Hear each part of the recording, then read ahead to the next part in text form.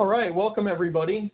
Appreciate your time today. Um, we will be uh, discussing how to build a winning cybersecurity program um, based on the cybersecurity maturity model certification uh, put out by DoD. Uh, my name is Cliff Neve. I'll be going through uh, how to build this winning program. And if you have any questions, you can feel free to email or call at any point in time. A little bit about myself. I'm an owner and chief operating officer with MAD Security. Been doing IT and IT security for over 26 years. I concluded my 20 years as a Coast Guard officer by standing up Coast Guard Cyber Command, where I worked with DHS, FBI, NSA, and US Cyber. I did some time at the White House as deputy CIO. I have a technical background with uh, with some master's degrees and, and uh, certifications. And uh, Dave Stewart will be my co-host today. So Dave. Hey, everyone. Uh, I'm Dave Stewart. I'm the Director of Cyber Risk and Compliance at MAD Security. Um, I've uh, kind of been around the block, as as they say. I've I've been in uh, uh, multiple DoD um, agencies like uh, the Missile Defense Agency, Ar Army Aviation, and also NASA. Um, I, uh, uh, you know, 20 plus years experience in this field of, of building cybersecurity programs, running operations, and um, and I've been with MAD Security for about uh, four or five years now. I'm looking forward to uh, going through this webinar with, with you all. Excellent. Thanks, Dave. Mm -hmm. um, a quick note about compliance and security. Compliance does not equate to security and vice versa. So today we'll be addressing both. Uh, some of you will only want to be um, interested in addressing compliance. That's your call, but you should really be aware of your risks and understand what your uh, what kind of risks you're taking by just addressing compliance. Whereas compliance is viewed as a cost center, security is viewed as a strategic idea uh, and, and a board of directors type requirement. And frequently, by just being um, taking some time to get organized, you can achieve both uh, rather easily as opposed to just a checklist approach to things. So I wanted you all to be aware of that up front of the difference between those two because it's a huge differentiator. For orientation, here are the eight steps to building a winning cybersecurity program, and I'll be presenting these in the same order that they, they're shown here. Having seen hundreds of organizations I feel these steps are applicable regardless of size or vertical. If I were to come into any organization as a chief information security officer, these steps would serve as my roadmap for getting that organization secure and compliant and ready to roll. So the very first step is that somebody needs to be accountable. Uh, how many organizations have one person that is ultimately in charge of cybersecurity? Um, another question, you know, how many of you have boards or executive leaders who champion cybersecurity? So every successful cybersecurity program uh, that, that I've ever been witness to uh, has someone clearly designated, empowered, and willing to be responsible who's backed up by the board and the CEO to actually make things happen. One person not a group, not an oligarchy, but one person who's actually responsible and accountable to the board and CEO for security. And that accountability comes from the top down. And the buck needs to stop with an executive, uh, which is why I've got my uh, picture of Truman up here. Um, it'll come into play later when we talk about policy enforcement. It's extremely difficult to enforce policies and makes them useless if you don't have somebody who has the power to be able to enforce them. Um, the second step is to understand what the requirements are and to know what you're defending. So knowing what you're defending starts with understanding your business processes. And I've heard these called different things throughout my career. Sometimes they're called your mission, your organizational characteristics, or just your business. The reason you invest in cybersecurity is to enable your mission and to protect your assets. So you begin with documenting your critical business functions, conducting your business impact analysis, and understanding how information and information systems enable them. In some industries, downtime can lead to injuries or death, such as a hospital, such as uh, many times operational technology or industrial control systems. Um, and availability seems to be a very forgotten part of the of the CIA triad, the confidentiality, integrity, availability triad. In fact, with CMMC particularly, it's nearly silent on availability. Um, it's clear that the, the goal of CMMC is to protect your data from loss and manipulation. But really, availability is huge for most businesses, and I very strongly recommend factoring it in um, and it becomes you know your first step as a CISO. That's the first step that I would address is understanding what the requirements are so that you can protect your information information systems to those. Um, one organization I was in particularly, um, the CISO listed out every major system they had.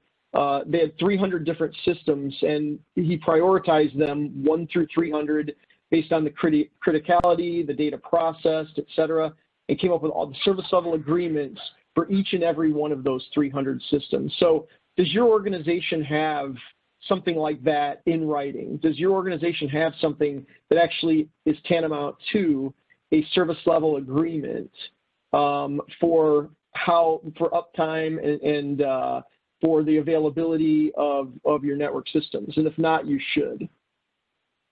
Um, along with your business and mission drivers, you also have to understand what kind of data resides on your systems. If we're talking CMMC, of course, the main one is covered unclassified information. That's the one everybody's talking about in DoD these days.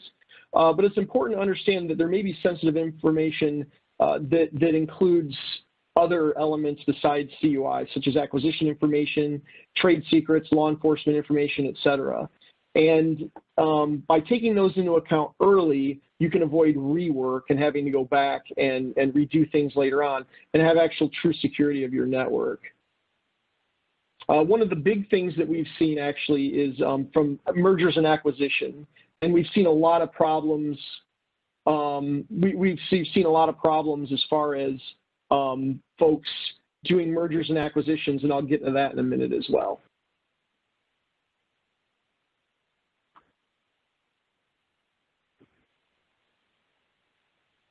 Uh, along with your business and mission drivers, you must know what systems you have in place, and those can be broken out as uh, delivery channels, technologies, and connections. So you've got your servers, you have firewalls, you have routers, as you would expect.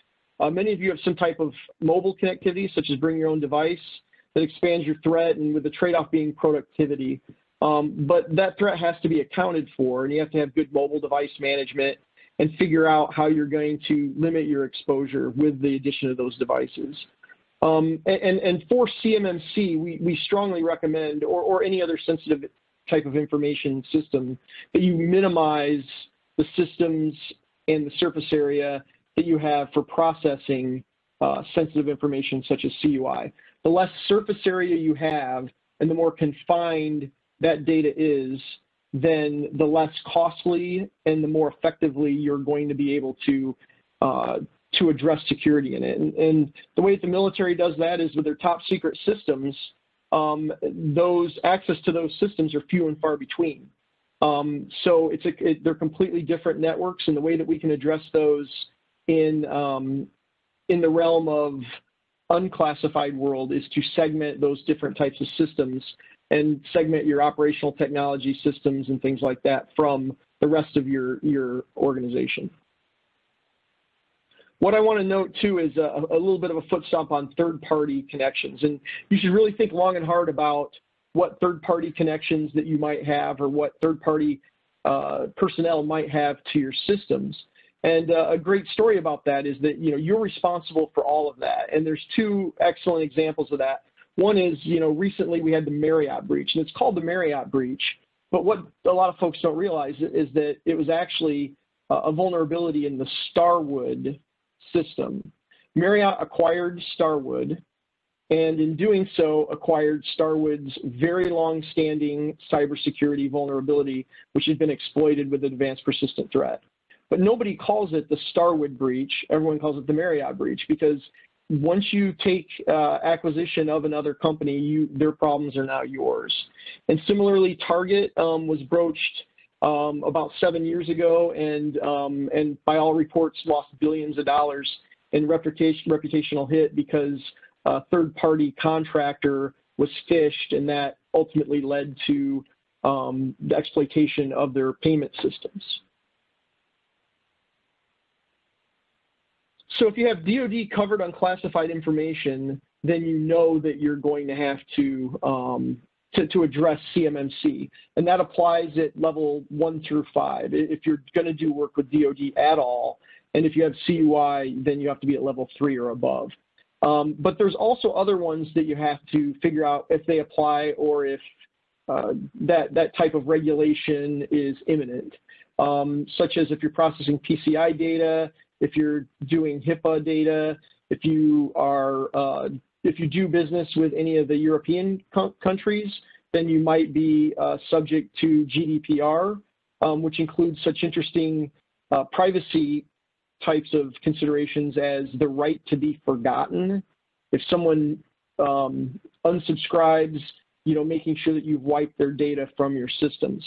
So you have to also know, and you shouldn't deal with these different levels or different types of regulations uh, in a vacuum. You should collectively figure out how to approach all of the all of the things that you're going to be beholden to. Um, so at this point in time, you should fully understand your attack surface.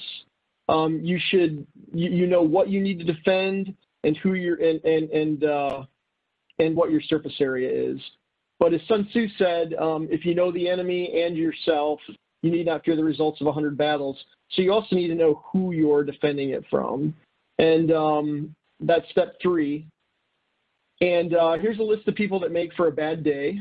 Um, and they range from organized criminals, terrorists, competitors with uh, covered unclassified information clearly. Um, nation states uh, uh might be um, a threat.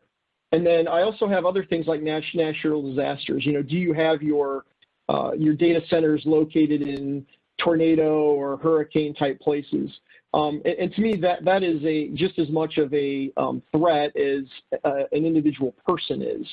Um, so you need to know and understand who might be trying to come after you. And if you want to get really froggy, then you can um, take a look at the MITRE ATT&CK framework, um, which is pretty cool. It shows all the different types of exploits and who might be doing it. And I've been working with uh, with some folks um, with Chertoff Group uh, around that. They they have a pretty good um, a pretty good program around um, taking a look at the MITRE ATT&CK framework and, and and understanding who is going to be interested in what information or what who might be interested in disrupting your systems.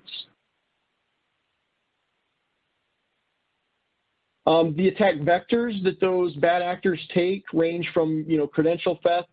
Ransomware is is clearly a big uh, consideration uh, now, and it's an easy one, and uh, folks are able to cash in. There's multiple different variations of those. Um, one of my favorites is that there's um, a, a ransomware exploit where if you've been subjected to ransomware, you go to a site that is set up to look as though it's going to help you uh, with unencrypting your files from ransomware. And when you employ it, it actually encrypts it again. And now they also ask for a uh, uh, some type of ransom from you in order to get access to your files. So you've got double encrypted files at that point. Um, we see web skimming, cryptojacking, um, and then also uh, social engineering is always a great one, uh, including uh, phishing and uh, vishing and, and help desks are, are particularly uh, good targets for those, and, and, we find that most places that we do social engineering um, uh, types of engagements at that we're able to, to get in most of the time. Uh, number four is um, solidifying executive buy-in. And this is an interesting one because I used to actually have this as number one, uh, number one or number two. But that's actually a, a lazy way of doing it, and it doesn't work. Um, what you have to do is it's your job as an information security employee, as an information security professional, to be able to articulate to your leadership what the risks are in their language in a way that makes them want to or, or makes them understand that it's important. And I think a lot of folks start with that and they say, well, I don't have executive buy-in, so I'm just going to be unsuccessful. And what I found is that you have to approach it the opposite way. You have to do your homework. You have to understand if you do your business impact analysis and you come to the table with a well-established plan and a well-established risk analysis of what could happen and what your threats and vulnerabilities are, then um, then you can articulate that to your to your uh, C-level folks. Then you're far more likely to get buy-in at that point. But it's a failure to just sit back and hope that you get somebody in to your CEO position that gets it. You have to make them get it. And so at this point, what I'm going to do is I'm going to turn it over to Dave, uh, who's going to take us uh, through the next three um, steps.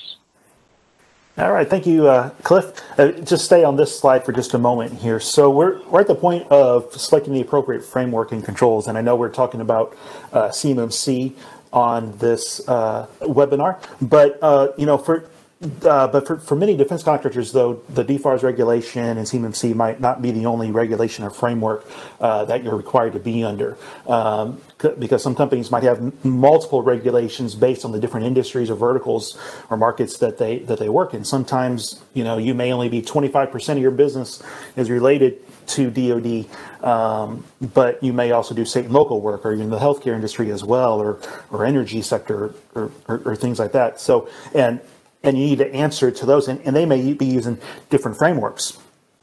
But here, here's the thing, though: if you have multiple regulations or frameworks that you have to be required to uh, answer to uh, in your industries, um, many of them have the same re- requirements because they're all pretty much based off the same thing. Typically, the 800, uh, the, uh, the, NIST 853 is kind of like the granddaddy. Um, but anyway, they're all based off that in some form or fashion. Um, all of these frameworks can be mapped to each other from the NIST 853, NIST 80171, CMMC, then you got your ISO 27000, your HIPAA, uh, PCI, which is payment card industry, uh, NERC CIP, which gets into to energy. Um, but, but, but you name it, they're all mapped to each other. And, um, and if you do have this, uh, uh this, this requirement, use it to your advantage because you don't need to recreate the wheel for each regulation you may be under. Um, uh, if, if you don't have one specific framework you need to be under, maybe as a as a company you decide, hey, we're going to use this one company wide, and then you can uh, um, have appendices, so to speak, for all the different other pieces that have to meet meet it. But um, but when it's all said and done, they all look the same. And what I like to say is, uh, security is security is security uh, because there's only so many ways that you can say, hey, you need to have an incident response plan, or hey, you need to use complex passwords, and you need to exercise least privilege or separation of duties. Um, it's all the same stuff. It's just kind of laid out a little differently, maybe a different acronym here and there. Um, uh, and maybe a little different priority, but they're, they're all the same. Okay, so uh, if we go to the next slide, Cliff. So for the purpose of this webinar, uh, we're going to focus on the CMMC, uh, which is the, the, Cybersecurity Maturity Model Certification. It's it's uh, kind of replacing, in a way, um, uh, the NIST 80171 re- requirement. Originally within DFARS, as probably most of you know that are on this call, um, the requirement at that time was self-attestation. Um, and this requirement has been uh, in place since the end of 2017. How, however, uh, the main thrust for changing over to a certification model was because basically uh, organizations um, uh, were not getting compliant with this uh, either quick enough, uh, they were pencil whipping that they were compliant when they really weren't, and possibly they just really don't understand the seriousness or just really don't understand um, how cybersecurity works. Within their, their business. So so in comes the, the CMMC, and essentially is a maturity model that is requiring DoD companies uh, to become certified at a level based upon the types of contracts and CUI data that they will have access to. Um, and but but and what it comes down to is self-attestation at this point, or in the and pretty soon I should say, uh, will no longer suffice. Um, uh, but really, what's going to happen is, so you as a company, um, besides the self-attestation, which is no longer going to be there. But you need to have a cybersecurity program in place. You need to have it best on best practices and prove that it is working. That's where the maturity piece comes from. And um, but if we open up the, the, framework, and we're not going to get into details in, in this call here, but um, it, it's really not rocket science um, when it comes down to it. CMMC is based on five levels of uh, security controls or what they call practices.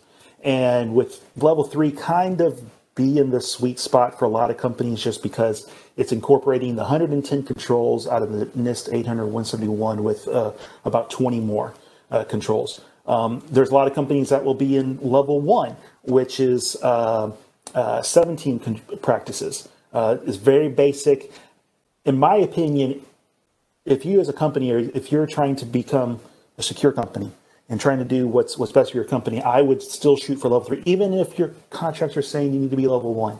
Um, level three is your best practices. Uh, it's going to protect your your company the, the best way, and and really, there isn't anything in there you shouldn't be doing. Um, go ahead, Cliff. If you go to the next slide. Um, okay, so this is just another view of the uh, of the steps of, of the different levels of CMMC. Um, uh, you know, one thing about level one is it, it, it doesn't even require uh, documentation, which um, is kind of frustrating to me because as a, as a security professional, um, uh, you know, you might be doing all kinds of great things, but if it if it isn't documented, it doesn't exist. And so that's really why I personally, you know, going to level, level three, that's the best bang for your buck as an organization and, and trying to get better across the board. Plus, all of the other security frameworks are going to be very similar to level three to begin with um, if, if, if you have those requirements. Uh, next slide, please. All right, so now we're getting into the section of okay. So we, we have a framework. We have uh, you know we we know what we're defending. Um, uh, hey, we might have somebody responsible for this all, all already, but now we need to understand where uh, where we stand as an organization. And in, in, order to get to where you need to be, uh, you need to know where you are. And so this is where gap assessment comes in, into play. Um, um, I think, go, go ahead, next slide, uh, Cliff.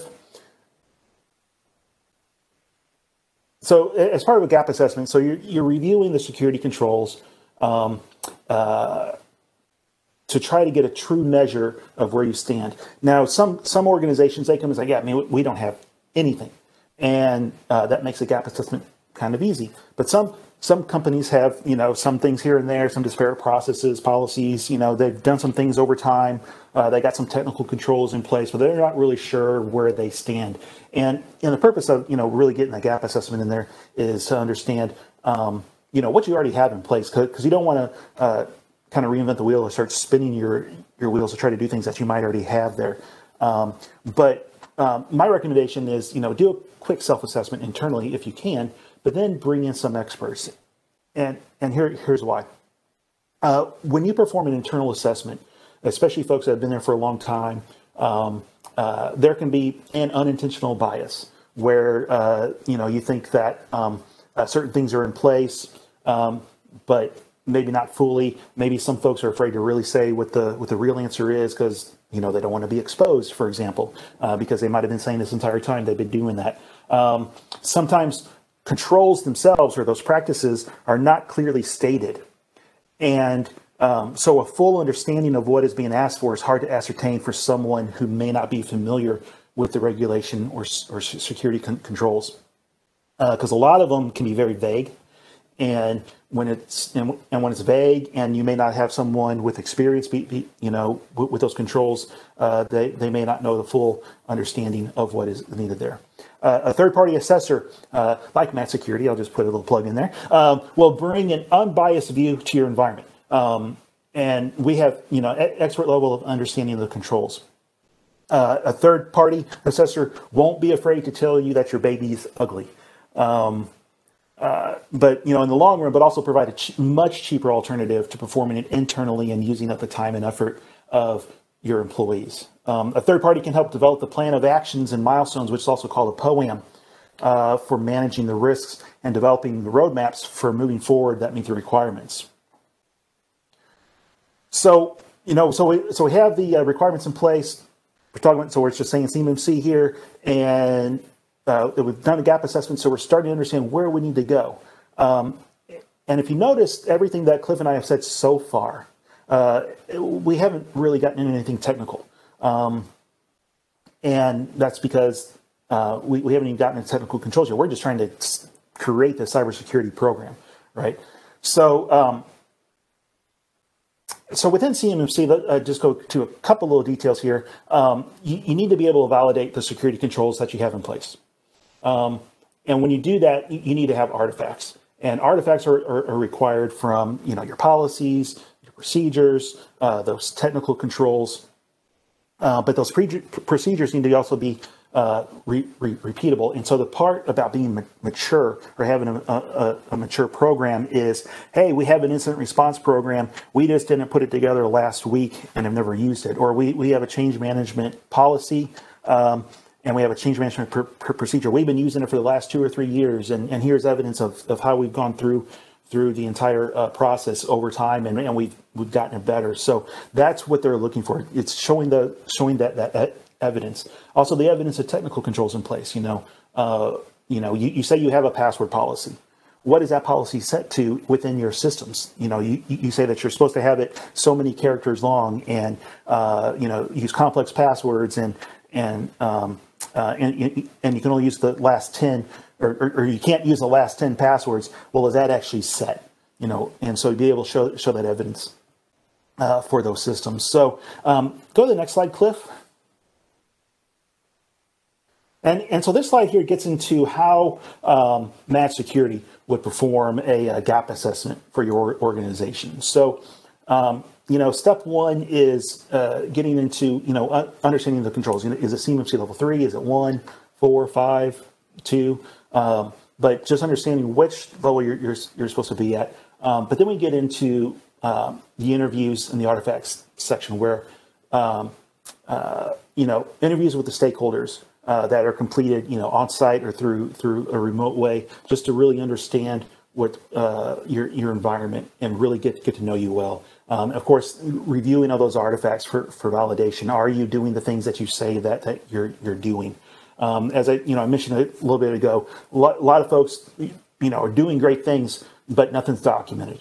And when it's not documented, you can't prove it, or you, you know it, it doesn't really exist. So that's why things have to be documented. Um, so after we, you know, we've we've gone through the interviews, uh, we've reviewed the controls with the artifacts. Then now we start uh, identifying the gaps uh, within within each, control. And so, you know, outside of this um, uh, uh, finding, then then we wrap a risk rating around it of a you know high, moderate, or low. Um, uh, and also with a, a, potential level of effort. One of the things that we really try to get to know with our clients is their environment. a level of effort, for example, is completely different for a company of 10 people than it is for a company of a thousand or 5,000 people, depending on, on what the, um, what the finding is. And so, you know, understanding that and saying, hey, you know, this uh, would be a very high effort for you as a company because you're only 20 people, you don't have an IT person in place, you, you, you don't have this or that. Uh, so that might take a lot of effort. However, you know, a company of 1,000, 2,000, 5,000, 10,000, you know, we'll probably have those folks in place. And so that might be a lower um, uh, level of effort. But, uh, but besides that, with the risk rating, you know, we also provide a detailed recommendation remediation strategy. Um, we just don't give you, it's like, hey, this is a finding, uh, you need to have a policy. Well, you know, we, we give you the reasons why. Why is that important? You know, you, you can know the, the, the what all day long, but, but you also need to know the why. Um, why is that important? Um, and then uh, when, when, we provide your report, it gets into executive summary, uh, high level detail for, for, for, for, the executive level, and then a detailed technical report. Also, another deliverable you get into is a POAM, that plan of actions and milestones I was referring to. Uh, basically, this is a spreadsheet of all the findings um, uh, from the gap assessment to support project management. And, and, and many times, this uh, can also be considered a risk register in some in- industries. Um, it, it's just a you know a, a, living document of all of the risks and vulnerabilities found within the environment and and how they're being managed from uh, discovery till the end. Um, then you get into your system security plan or your SSP, and this is um, uh, I, I I have a little different uh, approach to this than what you might see on NIST's website where they have a template. Um, I personally think that is um, junk. Uh, uh, because I think a, a, system security plan needs to describe how controls are implemented in a narrative form uh, throughout your information system. Uh, uh you know, you could do it way, way, way they have it out there where you kind of list each control itself and and answer to it. But the problem with that is because so many of these controls uh, combine with, with each other um, throughout all the control families, um, it can be very hard for someone who doesn't understand uh, those controls to really understand what's going on in your environment. So making it a more narrative form is, is in my opinion, a lot easier for um, for the or- organization to explain to others how system security um, is, is being run through, throughout the organization. Uh, but then you get into the next part is the compliance log or compliance tracking log, and this is tracks all the controls and their associated artifacts. So each, each control should have an artifact of some sort and so this is uh, where you can track. And so when you have that that CMMC audit, that, that assessor coming out to certify you, you have everything right there for them ready to go. Because um, one of the last things that you want to don't want to do when you get to the point of being certified, whenever that's going to happen in the next six months, a year, two years, three years, is scrambling to try to find everything. Have everything in one place, a one-stop shop, and it's going to make it a whole lot easier on you, a whole lot easier on the assessor, and um, uh, you know, and, and, and, hopefully the ability to get certified where you need to be.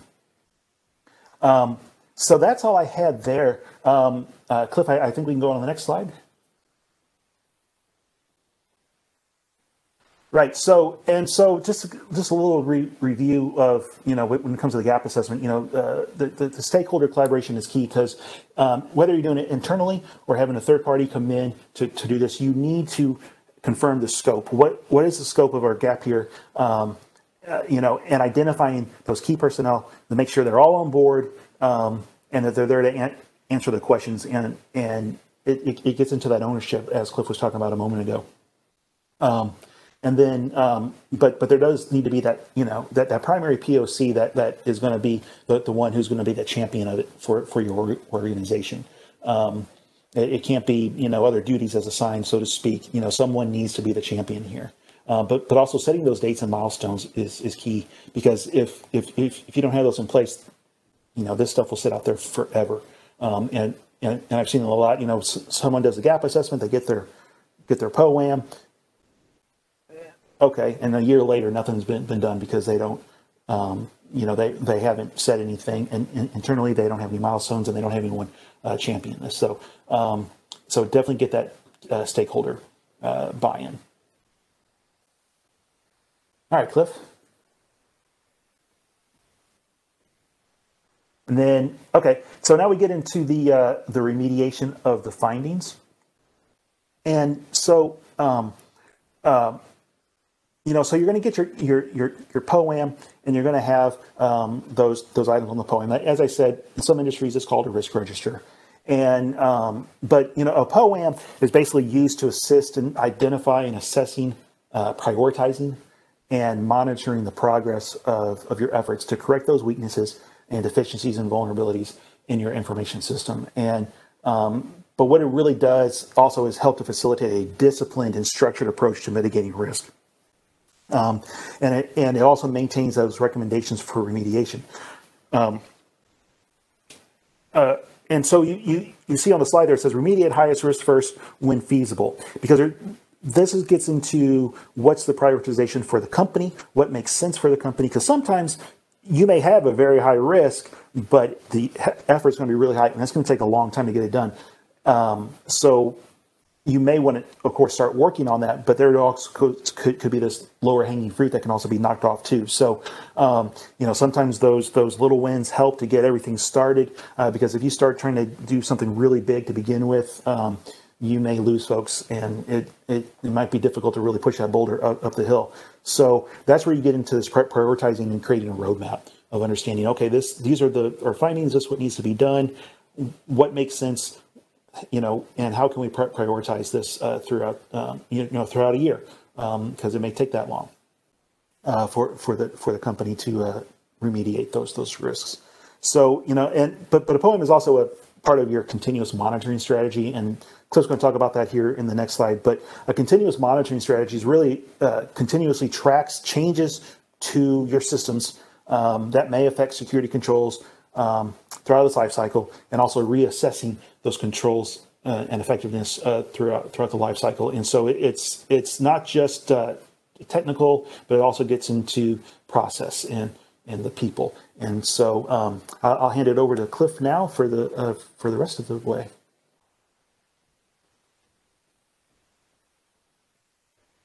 You're you're muted, Cliff. I believe.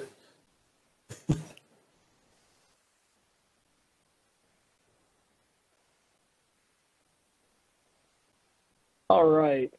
That's the way my wife likes it most of the time, is me muted. Um, so I think I'm back now. Uh, so the last step of this is the conduct continuous monitoring. And, uh, you know, cybersecurity, like most other, like all other types of security, isn't just a point in time um, type situation. You have to continually uh, assess it. You have emerging tactics, techniques, and procedures, um, and emerging threats at all times. So you have to be able to conduct continuous monitoring. And, and one of the best ways to do that is um, to have some type of SOC, Security Operations Center, or SOC as a service. And the, the key elements of uh, Security Operations Center are shown here. Um, and they include, uh, you know, upper right, asset discovery. You know, really what's amazing is that of all the clients that I've ever worked with, all the different places I've ever worked with, if you ask somebody for their network diagram, um, most of the time you're going to get blank stares. Most of the time you're going to get, you know, hey, go see so and so over at North Lab. Go see so and so over here. Go and see somebody over there. And um, and and it's really uh, it's really amazing how most people don't even really know what's on their network. And what ends up happening is is that I know that when we come in as a SOC as a service, uh, within like the very first day, is usually an exceptionally enlightening moment uh, and, and, a um, physically, physically and emotionally painful moment as we kind of illuminate, hey, did you know that this was on your network? Did you know that that was on your network? And so understanding that if you don't know what's there, then, then you know that's all part of the, the steps two and three that I was talking about before um, but also knowing what's being added to your network in real time and making sure that you're combating, you know, folks adding wireless access points or whatever the case might be. So asset discovery is a huge, huge part of your uh, security operations. Uh, next is vulnerability assessment and doing continuous monitoring, including um, you know, vector attack identification and using some type of system or some type of tool that is continuously updating for new types of um, new types of um, threats um, and, and, is scanning for those. Uh, the next is threat detection, um, host-based intrusion detection, uh, network intrusion detection, and, and everything else, and, and, seeing things that are happening using threat intelligence feeds and file integrity monitoring so you're able to see what's going on. Um, behavioral monitoring is always uh, very enlightening. You, um, I know that our SOC as a service, what we offer is, you know, that top 10 list of uh, the most problematic people and the most problematic devices on your network. So you can kind of get a feel for what normal looks like. And a lot of times, um, you know, while signature-based security, you know, has had its moments, um, really understanding what is anomalous on your network is is what's most important. And um, you know, similar to you know when I go through the gate at my parents' 55 and up community that they just moved into, um, you know, those folks know what is normal coming into the gate. So they see me, they recognize me. I'm a normal normal person that comes through every day in a normal car that they see every day and they they see me as as um, you know when when they see me more and more coming through the gate, they recognize hey they're associated with 21534 King Henry Avenue. Yep, those are the new folks who just moved in. Um, as opposed to hey wait a minute we've never had one of those trucks come through here before. That doesn't look like it's right. Um, being able to to to look at it from a behavioral perspective is very important. Um, your human security behavior assessment, that's basically phishing campaigns, targeting campaigns, teachable moments, um, sticky messaging um, is something that your security operations program should entail. and then um, security intelligence, which includes security incident event management, correlation. Um, if you're only looking at each log in its own, um, in a vacuum, then you don't get a chance to see that, hey, you know, there's a lot of traffic coming from um, different places that isn't meeting the threshold for throwing an alert maybe for that um, particular firewall. But you you can if you correlate the actions, you can figure, hey, something really sophisticated is going on here. Um, that is a tool. Um, and one of the things that I'll point out is that um, a, a lot of MSPs will try to be MSSPs. A lot of MSSPs will try to be MSPs. And for compliance, that might be okay. You know, the folks that do your computers, uh, and hey, they do antivirus and that's all great, and they maintain your firewalls and that's all well and good. Um, you know, and they might even check every box that DoD throws at you for, do you do this? Um, you know, it, it's really hard to be able to do both because an MSP's job is to get you access to all the data you need, to all the tools you need as a trusted user, whereas an MSSP looks at it from a completely different view. They look at it from keeping and denying access, uh, in many cases, from uh, from uh, uh different types of uh, the bad guys out there. So, um, so essentially, you know, you let the MSPs be MSPs, you let the MSSPs be the MSSPs. But that's if you want to take a security approach as opposed to a, a compliance approach. So essentially, here's the key takeaways. Uh, those are the, the eight steps uh, to, to, building a winning cybersecurity program that, that, that, we follow, that I would follow if I went in any organization. Um, a little bit about MAD Security. We were founded in 2010. Um, we provide CMMC prep services, SOC as a service penetration testing. Um, but really what we do, even more importantly than each individual product, is that our, our goal is to help you safeguard your business and bring you peace of mind. Our objective isn't to have you check the box. Every engagement that we go into when we engage clients, we try to do so from the perspective of I'm a CISO. If, if this was my organization, here's what I would do. And we find that that allows us to help our clients and help our partners holistically as opposed to just CMMC or just um, conducting this area or element. We, we like to, um, we're, we're, passionate about doing cybersecurity in general and safeguarding your business. CMMC is just one one facet of that that we're incredibly uh, incredibly knowledgeable on. And I think that wraps us up. Um, thank you very much for attending. Um, feel free to reach out to me. Uh, my email is pretty easy, cliff at madsecurity.com. And I've got my uh, cell phone there and everything else. Um, let's see. And I know that this is uh, um, Interesting. Let me see. I don't know if I can take questions or not. Uh, let me see here. Let's stop sharing. And I'll go back. Um, I, am happy to take questions if uh, if we have that capability to do so. This is the first WebEx that I've actually administered. I'll go ahead and uh, admit to that. So a little bit of a neophyte with respect to uh, to WebEx. So if anybody has any questions, feel free to unmute or, or I can try to unmute you and uh, let me know. I think you can actually raise your hand uh, or some other things.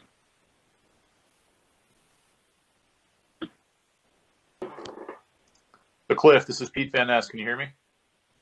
I can. Okay, so a question on uh, access to the MITRE ATT&CK framework. How would we go about looking at the MITRE ATT&CK framework?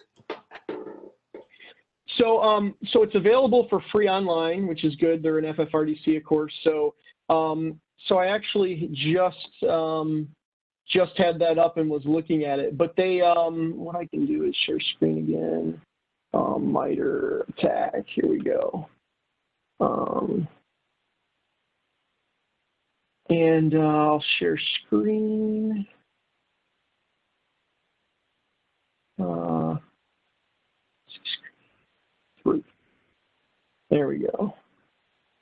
All right, so I think I'm sharing screen three here. So this is the um, MITRE ATT&CK uh, matrix for enterprise. And so these are the different ways. What they've done is they, they've um, organized it along, um, you know, initial access. And they talk about the different elements that include, you know, drive-by compromise, phishing, replication through removable media, et cetera. All these different ways that you could gain initial access. And then execution is the next one.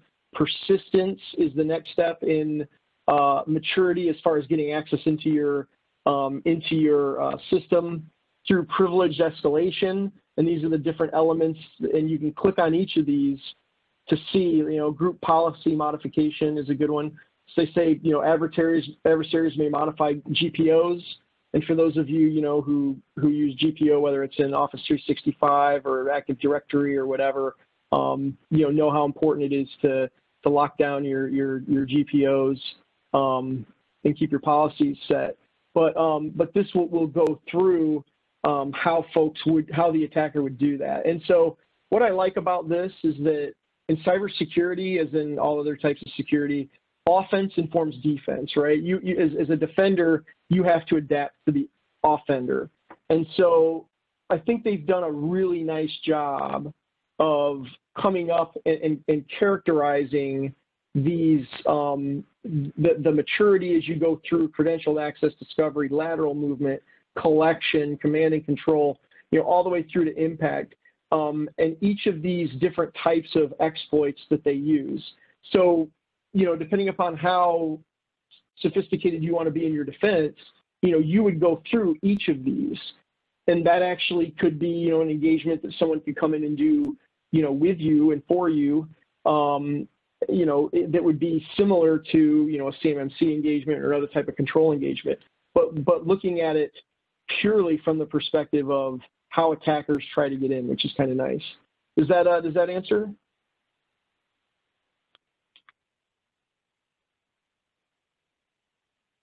I'll assume yes. Sorry, I changed and I couldn't find the mute button. Oh, that was good. Thank you.